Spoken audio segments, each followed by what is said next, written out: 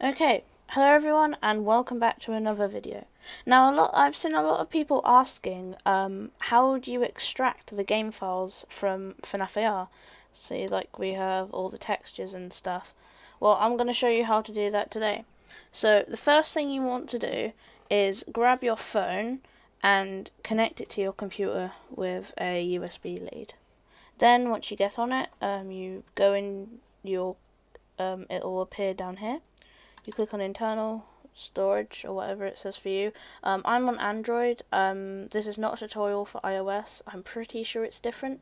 So this is only for Android. So you just want to click Android up here, data, and now you need to find com.illumix.fnafar, this file. And then um, you can just go ahead and drag it to your desktop. Uh, let me just delete the one I already had on here. You just drag it on over like that and you have to wait for the files to copy. Okay, now when everything is finished copying over, you'll have these files, but you may realise these are just weird, funny files. Um, uh, these are Unity files because the game's made in it, and what you have to do is extract uh, the files from it. So, to do that, you need a program called Asset Studio.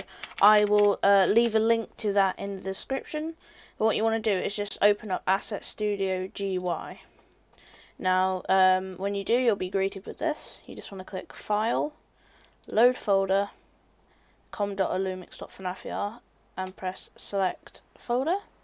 Wait for everything to load up, and now you will see everything, all these weird funny files, and um, you see they've got names like baby and baby stuff, balloon boy, you know, all the characters. Um, and to extract them all uh, you just want to press export all assets or you can just select one thing and press select assets like you can just do that. Um, now we want to do all of them so you just hit all assets um, select here and that's it. You just let it do its thing and yeah so that is literally all there is to it. So it's copying over and you can see it's creating all these files. These are the files of the characters.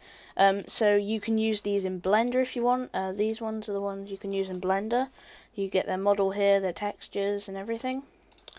Um, you can also see all the files like their icons. It hasn't finished copying over yet. Um, their meshes, which are just the general body. Um, the textures here they all are, like uh, the icons, like their textures, um, all sorts.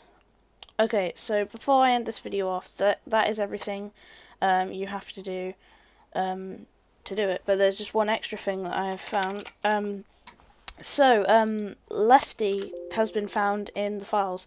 Um, it hasn't quite finished copying over yet, but um, hopefully it'll pop up. Yes, Lefty's textures are now in the game files, and this has just been added in uh, the Magician Mangle update. You can see, okay, it's just finished.